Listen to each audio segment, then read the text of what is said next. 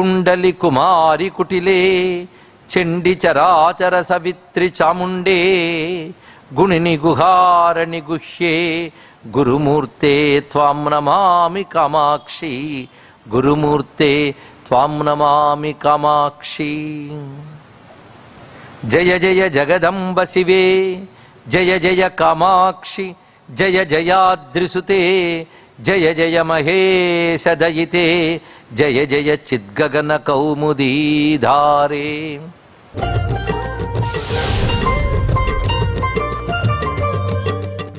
स्मरं योनिं लक्ष्मीं त्रितयमिदमादौ तव मनोः। सदायैके नित्ये निरवधि महाभोगरसिकाः। भजन्ति त्वां चिन्तामणिगुणनिबद्धक्षवलयाः। శివాగ్నౌ జుహ్వంతః సురభిఘృత ధారాహుత శతై లేదా ధారాహుతి శతై. ఇందులో మీరు గమనించితే మొదట ఆది విద్య నాలుగు శ్లో నాలుగు పాదాల్లో తెలియజేశారు.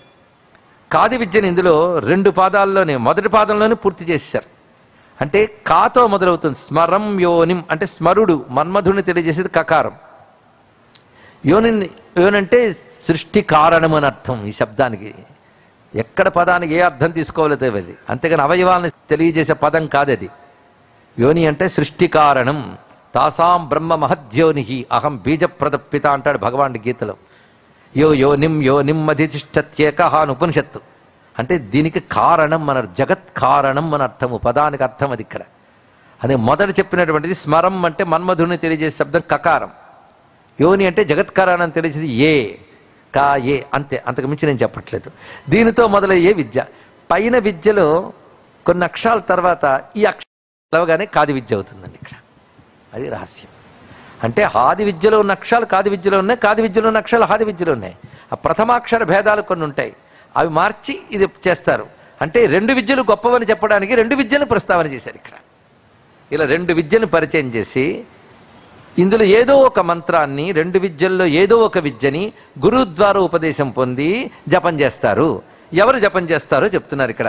అంటే ఇప్పుడు చెప్పబోయే మూడు వాక్యాలు నిధాయైకే నిచ్చే నిరవధి మహాభోగ రసికాహ నుంచి మూడు వాక్యాలు కూడా ఆది విద్యైనా కాది విద్యైనా జపించే వాళ్ళకి ఈ మూడు వాక్యాలు మాత్రం ఒకే జపించే విధానం మాత్రం ఒకటి. ఇలా జపించాలి అన్నాడు. ఆ జపించే వాళ్ళకు టైటిల్ ఇచ్చాడు. ఎవరైతే అమ్మవారి విద్య పొంది జపం చేస్తారో వాళ్ళు రసికులు. ఎంత గొప్ప మాట అన్నాడండి. భగవన్ మంత్రం పొంది జపం చేసేవాళ్ళు రసికులు. రసికులు అంటే అర్థం ఏంటి? ఆనందిస్తూ ఆస్వాదిస్తూ ఉన్న వాళ్ళని రసికులు అంటారు. మీరు సంగీత కచేరీలకు వెళ్ళినప్పుడు ఇక్కడ అంటారో నాకు తెలియదు కానీ తమిళనాడులో సంగీత కచేరీలకు వెళ్ళినప్పుడు రసికాస్ అని సంబోధిస్తారు అక్కడ. ఇంగ్లీష్లోను వాళ్ళు ఈ పదం మార్చరు రసికాస్ అంటారు. ఓ రసికులారా అని అర్థం ఇక్కడ. సంగీత రసికులు వాళ్ళు ఇక్కడ. అంటే సంగీతాన్ని విని ఆ నావలిస్తూ కూర్చోకుండా అందులో స్వరాలు వాటిని రసికులు వాళ్ళ రుచిని అనుభవిస్తుంటారు. అలాగే సాహిత్య రసికులు నాట్య రసికులు ఒక్కొక్క దానికి ఒక రసికులు ఉంటారు ఇక్కడ. రసాన్ని తెలియగలిగే వాళ్ళు రసికులు. అలా మంత్రానికి కూడా రసం ఉంటుందండి రుచి ఉంటుంది. ఏం జడమైన శబ్దం అనుకున్నారా మంత్రం అంటే?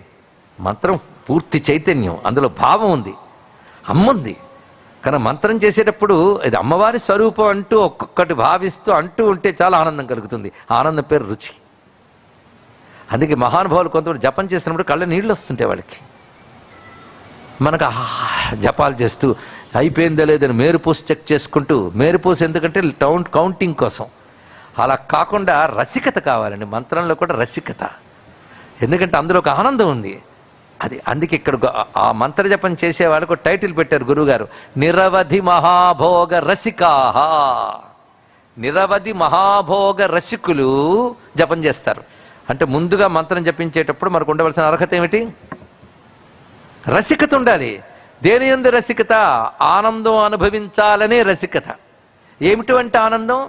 నిరవధి మహాభోగం.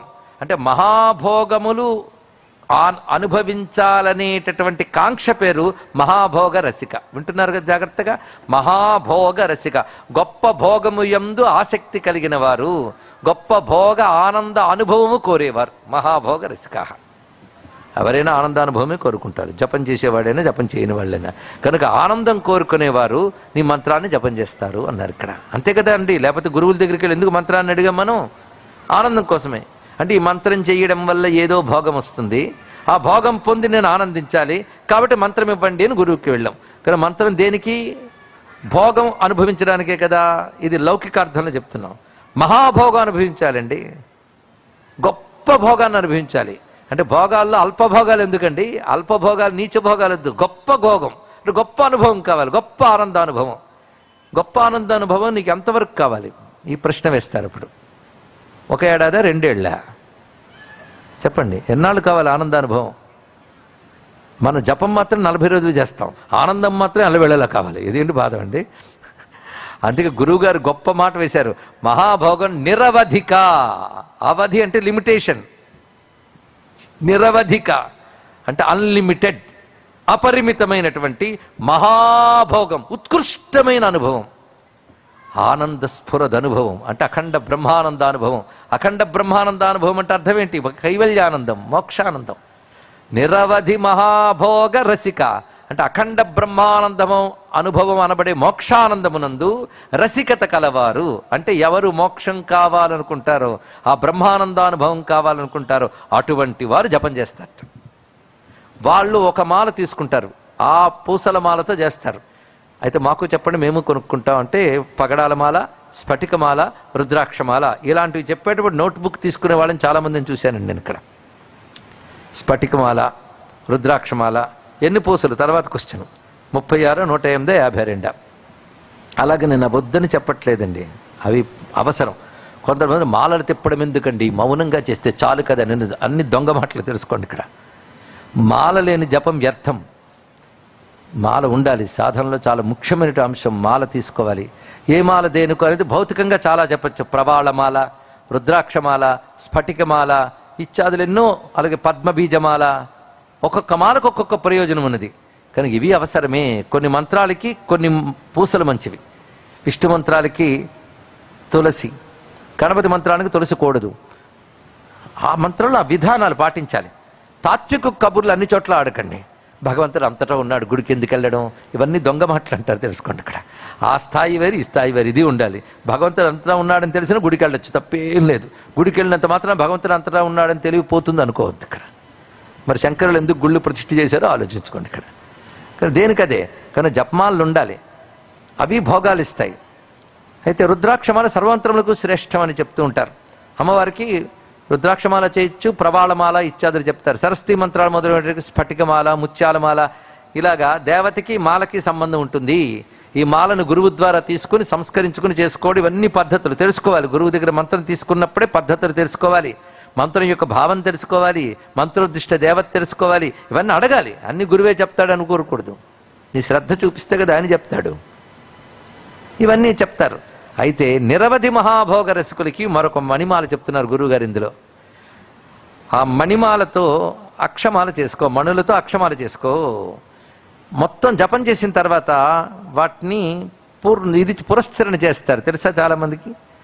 మంత్రం జపం చేసి జపం చేసిన తర్వాత హోమం చేస్తారు. దశాంశ హోమం అంటారు. వెయ్యి జపం చేస్తే వంద హోమం లక్ష జపం చేస్తే పదివేలు హోమం ఇలాంటివన్నీ ఉంటుంటాయి. అలా హోమం చేయాలి ఇక్కడ. అలాగా అమ్మా కొంతమంది భోగాలు అనుభవించాలనుకున్న వాళ్ళు జపం చేసి ఆహుతులు వేస్తారు. ఏ భోగం కావాలన్నా మీకు ఐహికమైన ఐశ్వర్యం కావాలనుకోండి ఒక మంత్రం ఇస్తారు. ఆ మంత్రం ఇంత జపం చేసి దాన్ని నేత్తో హోమం చేసి మళ్ళీ తర్పణ చేసి మార్జన చేసి భోజనం పెడితే అప్పుడు మంత్రం సిద్ధిస్తుంది. ప్రతి మంత్రానికి పురస్చరణ విధానాలు ఉంటాయి.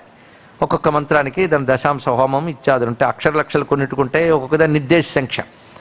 ఇప్పుడు అమ్మవారి మంత్రానికి భోగం కోరుకుని చేసేవాళ్ళు చాలా మంది ఉన్నారు. అందరూ మోక్షం కోరుకుని చేయట్లేదు. శ్రీ విద్య చేసేవాళ్ళు కూడా. ఐహికంగా బాగుండాలి అనుకు తప్పేం లేదు. తర్వాత తర్వాత వైరాగ్యం కలిగితే వేరే విషయం. కానీ ఇందులో చెప్పబడుతున్న సాధకులు మాత్రము అటువంటి వారు కారు. నిరవధి మహాభోగ రసికులు. నిరవధి మహాభోగ రసికులు అంటే అఖండ బ్రహ్మానందానుభవం కోరేటువంటి వాళ్ళే సాధన చేస్తున్నారు. ఆ కోరే వారికి ఏదైనా మాల కావాలి. ఒక్కొక్క కోరిక ఒక్కొక్క మాల చెప్పారు కదా అది కోరుకునే వారికి ఒక అక్షమాల చెప్తున్నారు గురుగారు. ఎక్కడైనా దొరుకుతుందేమో రాసుకోండి. చింతామణి గుణ నిబద్ధ క్షవలయా చింతామణి అంటే చింతామణులను ఉంటాయట. ఎక్కడ దొరుకుతాయంటే నేను ఆ మధ్య చూసేయండి అన్నాడు ఒక ఆయన. ఎక్కడండి అంటే నాకు జ్ఞాపకం రావట్లేదు తెలుసుకుని చెప్తానన్నాడు. మరి అడ్రస్ లేదు. ఇలాంటి వాళ్ళు కొందరు కనబడుతుంటారు ఇక్కడ. కానీ చింతామణులు అంటే ఎప్పుడో క్షీరసాగర మథనం చేసినప్పుడు పుట్టే చింతామణులు. అవి అక్కడ ఎవరి దగ్గర ఉంటే ఉంటే కేర్ ఆఫ్ ఇంద్రుడు. మనకు ఆయన ఇస్తాడు అక్షమాల ఇంబడైన. మనం ఇప్పుడు స్వర్గానికి వెళ్ళిపోవాలని తొందరపడద్దు. కనుక ఇప్పుడు చింతామణి సమస్య పట్టుకుంది మనకి. కానీ గురువుగారేమో చింతామణి అన్నారు. గుణం అంటే దారం. చింతామణి గుణ. మనం సరిగ్గా వింటే చింతామణి గుణ నికా జన్మజలధవు అక్కడ పెట్టాడు దీన్ని. గురుగారు. చాలా జాగ్రత్తగా మొదటిది మర్చిపోయేమో అనుకోవద్దు. గుణం అంటే ఒక అక్కడ అర్థం చెప్పుకున్నాం తాడు దారం. అంటే పూసలు తెచ్చుకుని పూసలు లెక్కట్టుకుని జపం చేయగా పూసలను హారం చేస్తాం మాల చేస్తాం. కానీ చింతామణి గుణ వీటితో చింతామణిని గుణముతో నిబద్ధ కట్టిన అక్షవలయ అక్షమాల చేసుకున్నాడు. చింతామణుల్ని దారముతో కలిపి కట్టిన అక్షమాలతో జపం చేస్తారు అన్నాడు ఇక్కడ. ఇప్పుడు బాగుందండి. అక్షమాలు బాగుంది కానీ చింతామణులు ఎక్కడ దొరుకుతాయి? చెప్తున్నాను విను అన్నాడు. ఇప్పుడు ఈ పదంలో మరొక అర్థం ఉంది చూడండి. చింతామణులు అంటే చింతనయే మణి చింతామణి అంటే ఇక్కడ చింతన చెయ్యి చింతన చెయ్యి. మంత్రాన్ని చింతన చెయ్యి జడంలా చెయ్యకు ఒక అక్షరాన్ని భావన చెయ్యి చింతన చెయ్యి. మనస్సును తగలనివ్వు మంత్రానికి. తగలనివ్వట్లేదే. మొత్తం చేసేసి అమ్మాయి మాలైపోయింది. మొత్తం జపం చేసిన తృప్తి ఏంటంటే అయిపోయిందని తృప్తే. జపం చేసిన తృప్తి లేదు. ఇవాళ అనుష్ఠానం అయిపోయింది తృప్తి అంతే. పొద్దున్నగానే కానీ చెయ్యాలా? అదుగుతుందా? అయిపోతే రిలీఫ్.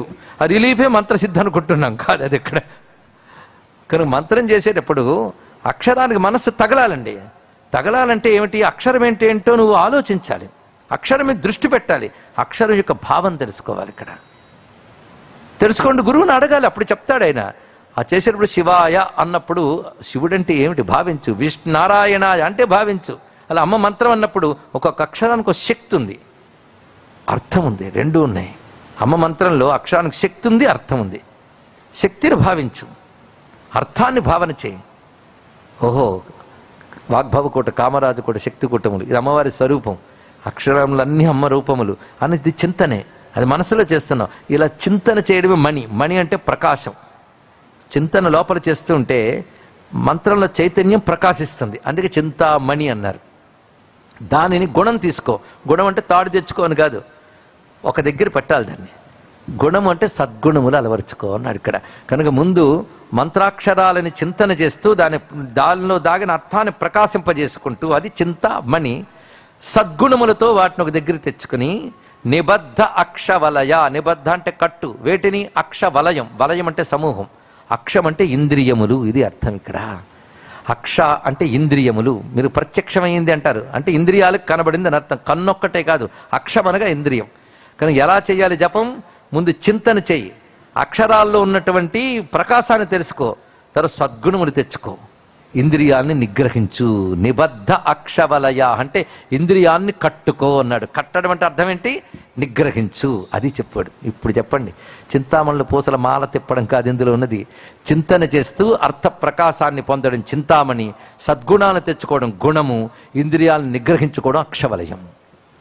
ఎందుకంటే మంత్రం చేస్తున్నప్పుడు మన కాన్సన్ట్రేషన్ పెట్టేటప్పటికల్లా ప్రారంభించినప్పుడు చాలా బాగుంటుంది. రెండు మూడు సైజు కూడా ఎక్కడికి వెళ్ళిపోతుంది మనస్సు. సాధకులకు అందరికీ ఇది కష్టమే. సాధకులందరూ పడుతున్న కష్టం. మనస్సు నిలపాలండి ఏకాగ్రత ఉండాలి అంటే చెప్పడానికి చాలా బాగుంటుందండి చప్పట్లు కొట్టడానికి కూడా బాగుంటుందండి కానీ సాధనకి మాత్రం ఇంప్రాక్టికల్ అవునా లేదా చెప్పండి ఇక్కడ. ఎందుకంటే యావరేజ్ మ్యాన్ యొక్క ఏకాగ్రత ఎంతసేపు ఉంటుందంటే సైన్స్ చెప్తోంది ఇరవై సెకండ్లకు మించి ఉండదు. ఎంతో కష్టపడి సైన్స్ ఒప్పుకోక తప్పదు. కనుక ఏకాగ్రత సాధ్యం కాదు అనకు మళ్ళీ. ఎవరికీ సాధ్యం కాదు. యావరేజ్ మానికి సాధ్యం కాదని చెప్పారు. కానీ సాధన చెయ్యగా చెయ్యగా సాధ్యం అవుతుంది. అందుకే అది నిబద్ధం ఎలా చేయాలో చేయాలి. ఇంద్రియం చెదిరిపోతుంటే తెచ్చుకుంటూ ఉండాలి. కృష్ణ పరమాత్మ చెప్పలే ఇంద్రియాలు నిలపలేమంటే నిలపలేమనేది నేను ఒప్పుకుంటానయ్యా కానీ అభ్యాసేనత కౌంతేయ వైరాగ్యేణ గృహ్యతే. ఇంద్రియ నిగ్రహానికి రెండే మార్గములు. నిరంతర అభ్యాసం వైరాగ్యం. ప్రాక్టీస్ చేయడం ఒకటి వేటి వైపు మనస్సు వెళుతోందో వాటిపై విరక్తి కలిగి ఉండాలి. ఆ రెండు ప్రాక్టీస్ చేయాలి. అందుకని రోజు మనసు నిలపడానికి ప్రయత్నిస్తున్నానండి. కానీ ఆ సమయంలోనే విషయాలు గుర్తొస్తాయి.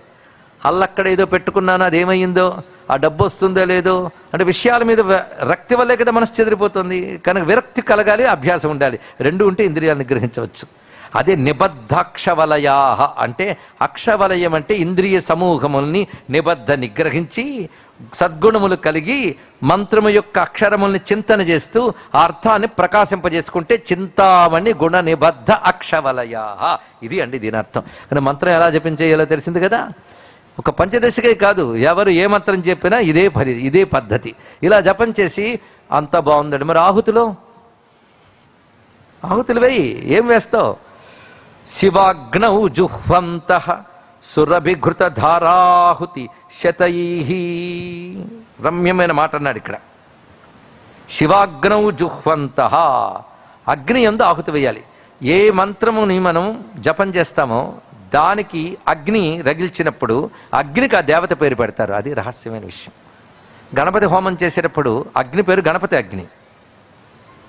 అలా దేవత యొక్క పేరు అగ్నికి పెడతారు. ఆ దేవతాశక్తిని అగ్ని మీద ఆవహింపజేస్తారు. ఊరికనే పేరు పెట్టడం కాదు. అప్పుడు హవనం చేస్తారు. అప్పుడు అగ్నిలో ఇచ్చేది ఆ దేవతకి వెళుతుంది. ఇది యజ్ఞంలో జరిగే ప్రాసెస్. కనుక ఏదైనా హోమం చేసే ముందు తన మంత్రాన్ని కొంత ఎక్కువ సంఖ్య జపం చేసి దాన్ని హోమం చేస్తాం. అప్పుడు ఏ దేవత యొక్క మంత్రాన్ని చేస్తారో దేవత పేరు దానికి వస్తుంది. ఈ అగ్ని పేరు ఏమిటి? శివాగ్ని. శివాగ్ని ఎందు సురభి ఘృత ధారాహుతి శతై. సురభి అంటే కామధేనువు. కామధేనువు యొక్క పాలని నుంచి వచ్చిన నెయ్యిని శతైహి వందల కొలదిగా శివాగ్ని ఎందు ఆహుతి చేస్తాడు. అంటే చింతామణి గుణమాలతో జపం చేసి ఇచ్చేస్తాట. చింతామణి గుణమాల అంటే ఏంటి చెప్పేశాం. ఇంద్రియాలను గ్రహించి సద్గుణములతో మంత్రార్థమును భావన చేస్తూ శివాగ్నియందు శివాగ్ని అంటే జ్ఞానాగ్ని అని అర్థం ఇక్కడ. జ్ఞానాగ్నియందు కామధేను పాలన చేయాలట. కామధేనం అంటే కోరిన కోరికలు ఇచ్చేవి. దాని నుంచి వచ్చే పాలంటే కోరిన కోరికలిచ్చే ఆవు నుంచి కోరిన కోరికలు వస్తాయి కదా. కనుక నీ కోరికలన్నిటినీ జ్ఞానాగ్నియం ఎందు చేయాలి అన్నాడు దీని యొక్క అర్థం ఇదండి ఇక్కడ. అదే జ్ఞానాగ్ని దగ్ధ కర్మాణం తమాహు పండితం బుధాహ. విన్నారా? కనుక జ్ఞానాగ్ని దగ్ధ కర్ములు వాళ్ళు. అందుకు జపం చేయవలసిన విధానం ఏంటంటే ఇంద్రియాలను నిగ్రహించుకుంటూ సద్గుణములతో మంత్రాక్షర చైతన్యాన్ని నువ్వు తెలుసుకుంటూ చింతన చేస్తూ క్రమంగా చింతన చెయ్యగా వచ్చిన జ్ఞానాన్ని ఆ జ్ఞానంలో నీ ఇంద్రియాలు నీ కోరికలు వీటిని లయం చేయి లయం చేయి లీనం చెయ్యి కేవలం జ్ఞానాగ్నిగా రగులుతుంది ఇక్కడ. ఇలా జపం చేయాలి అని చెప్పాడు. దీన్ని బట్టి అమ్మవారి విద్య పదిహేను అక్షరాలు చెప్తూ హాది విద్య కాది విద్య చెప్పి నిరవధి మహాభోగ రసికులు ఇంద్రియ నిగ్రహంతో సద్గుణములతో నీ మంత్రార్థ విచారణ చేస్తూ దాని ద్వారా కలిగిన జ్ఞానమునందు ఈ లౌకికముల్ని ఇంద్రియార్థములను విషయములను కూడా హుతం చేస్తారు. అవి హుతమైపోతే ఇంకేముంది? ఇంకేం మిగిలే జ్ఞానమే మిగిలింది ఇక్కడ. ముక్తి పొందుతారమ్మా అంటూ ఎలాంటి పదాలు వేశారండి. అయితే లౌకికార్థంలో చింతామణి గుణ నిబద్ధాక్ష అంటే ఇంకొక ఆయన ఇంకో అర్థం చెప్పాడు. చింతామణి అంటే నీకే మణిమాల దొరికితే ఆ మణిమాలతో జపం చేసుకో అన్నారు ఇక్కడ. చింత అంటే నీ కోరిక కదా నువ్వు కోరిన పూసలు తెచ్చుకో జపం చేసుకో. కానీ అమ్మవారి మ- జపానికి ఈ పూసలు ఇంకా ఏ పూసైనా చేయవచ్చని అనువాదం చేశాడు. బాగానే ఉంది. అది పై పై మంత్ర అర్థం. కానీ శంకర భగవత్పాల వారు ఎంతవంటి అర్థంతో చేశారో తెలుసా? ఇవాళ విన్నాక రేపు జపం చేసేటప్పుడు పద్ధతి మారితే చాలు ప్రవచనం యొక్క ప్రయోజనం నెరవేరినట్లే. కానీ నా మంత్రం ఉంది నాకు ఇది ఉంది అది హౌతం చేస్తున్నాను అంటూ అలా విసిరేయడం కాదని కొంచెం స్వాహాకారం చేయడం అలా విసురుతారు అగ్ని ఎందు అరే అక్కడ అగ్ని ఆ దేవత ఆ దేవతకు నువ్వు ఇస్తున్నావు. పిల్లాడికి తిండి పెట్టినప్పుడు ఆహారం ఎలా ఇస్తావు? అంత చక్కగా పెట్టు దాంట్లో అంత చక్కగా ఆగుతు వేయి భక్తిగా వేయి. అటువంటి శ్రద్ధ కలిగి ఉండాలి. మంత్రం అయిపోయింది మాల అయిపోయింది తృప్తి లేచిపోవడం కాదు. ఇలా చేయాలి ఇలా చేసినప్పుడే మంత్రం అలా చేయగలిగినప్పుడే మంత్రాన్ని అడగాలి గురువుల్ని. దాని సంసిద్ధులు అవ్వండి చెయ్యగలిగే శక్తి వచ్చిందా లేదా పక్కన పెట్టండి. కనీసం చేయగలిగే ఆసక్తి ముందు తెచ్చుకోండి. తర్వాత ఆ శక్తి అదే వస్తుంది ఇక్కడ. ఇటువంటి ఆసక్తితో గురువులను ఆశ్రయించి ఇటువంటి ఉత్కృష్టమైన మంత్రాన్ని ఇలా జపం చేసి ఇలా ఆహుతులు వేస్తే వాడి కైవల్యం లభిస్తోంది కదా అన్నారు భగవత్పాల వారు. అంటే కర్మని జ్ఞాన దృష్టితో ఎలా చూడాలో తెలుసుకోవాలి. ఎందుకంటే మనం ఈ ప్రవచనం వినేకంటే హోమం చేసుకోవడం బెటర్ అండి అని కొందరు అనిపించవచ్చు. కానీ మీకు తెలుసో లేదో ఇప్పుడు మీరు వింటున్నప్పుడు జరిగిందే నిజమైన హోమం. మీరు అమ్మవారితో అనుసంధానం చేసి శ్రద్ధగా వింటున్నారు. ప్రపంచాన్ని మైమరిచిపోయారు. మీకు తెలియకుండా అక్షవలయములు నిబద్ధింపబడ్డాయి. ఎందుకంటే మధ్యలో చూసి ఫోన్ చూసుకుందామన్నా వీలు లేదు. అనౌన్స్ చేసేసారు. పక్కవాడేమని అనుకుంటాడేమో. కనుక చెయ్యటి వెళ్ళినా నిగ్రహం. నిబద్ధాక్షవలయాహ. చెప్తున్నది ఏమిటా అని చింతన చేస్తున్నారు కనుక చింతామణి. కానీ ప్రవచనం వింటున్నంతసేపు సద్గుణాలతోనే ఉంటాం కదా. వింటున్నంతసేపు ఉంటాం. కనుక గుణము అన్నీ ఉన్నాయి ఇక్కడ. ఇంకా మిగిలింది లయం చేయడమే. ఇంకా అది మీ ఇష్టం ఇక్కడ. ఎంత రమ్యమైన శ్లోకం ఎంత వివరంగా చెప్పారు ఇక్కడ. అందుకే ఇక్కడ అంటున్నారు ఇలా ఎవరు చేస్తారు? ఈయనకి తెలుసు అందరూ చేరని. ఏకే అన్నారు. అందుకే నిధాయ ఏకే ఏకే అనే మాటకు అర్థం ఏ కొందరు అని అర్థం ఇక్కడ.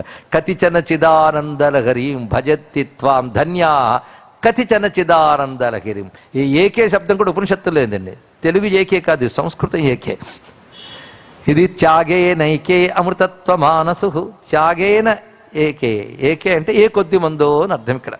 అలాగే ఇక్కడ ఏకే అనే శబ్దాన్ని ఇంత చక్కగా వాడారు ఇక్కడ. అందుకే కొంతమంది ఇలా చేస్తారమ్మా అన్నారు ఇక్కడ. కొంతమంది అంటే అందరికీ ఇటువంటి స్థితి రాదు. మనుష్యానాం సహస్రేష కశ్చిత్ జతతి సిద్ధయ్య అని కొద్ది మంది మాత్రం ఇలా చేయగలరు. అయితే ఆ కొద్ది మందిని ఎందుకు చెప్తారండి? మెజారిటీ అంతా ఇలా చేస్తుంటే వాళ్ళ గురించి చెప్పచ్చు కదా అంటే మెజారిటీ గొప్పవాళ్ళు మెజారిటీగా ఉండరు. అది ఒకటి ఉన్నది ఇక్కడ. గొప్పవాళ్ళ సంఖ్య ఎప్పుడు తక్కువే. ఎందుకంటే రాళ్ళు దొరికినట్లు రత్నాలు దొరుకుతాయండి. అవి ఎప్పుడు ఏకే అవి ఇక్కడ. కానీ నువ్వు ఎప్పుడు రత్నం గురించి వర్ణించాలి కానీ రాళ్ళ గురించి శ్లోకాలు రాయకూడదు ఇక్కడ. రత్నాల గురించే రాయాలి. కానీ సాధకుల్లో ఉత్తమ సాధకుల గురించే చెప్పాలి. ఎందుకంటే వాడు నీకు ఆదర్శం. వాడు నీకు మోడల్. వాడు నీకు ఐడియల్. అందుకు వాడిని మోడల్గా చూపిస్తున్నారు ఇక్కడ. అటువంటి ఏకే మహాభోగ రసికాహ నిరవధి మహాభోగ రసికాహ. వాళ్ళు ఇలా జపం చేస్తారు. ఇలాగా వాళ్ళు పురస్చరణ చేసి హోమాలు చేస్తారు. నీ మంత్రం ఇంత గొప్పదమ్మా. మోక్షాన్ని ఇవ్వగలిగే మంత్రం ఐహికాన్ని ఇవ్వగలిగే మంత్రం. అలాంటి మంత్రాన్ని నీ తంత్రం ద్వారా ఇచ్చాడు నీ మాట చేత నీ నిర్బంధం చేత దక్షిణామూర్తి అయిన శివుడు. అంటే ఈ మూడు శ్లోకాల్లో అమ్మవారి యంత్ర మంత్ర స్వరూప స్వభావాలు చెప్పాడు. వాటిని మేళనం చేస్తూ అమ్మవారి స్వరూపం శివశక్తిలోని ఏకరువు పెట్టిన దాని యొక్క సమిష్టి శ్లోకం ఇప్పుడు చెప్పుకుంటున్నాం. ఇందులో చెప్పడం ఏంటంటే జగమంతా శివశక్తిమయం. జగత్ శివశక్తి తప్ప మరొకటి కాదు. ఇది తెలుసుకోండి ఇక్కడ.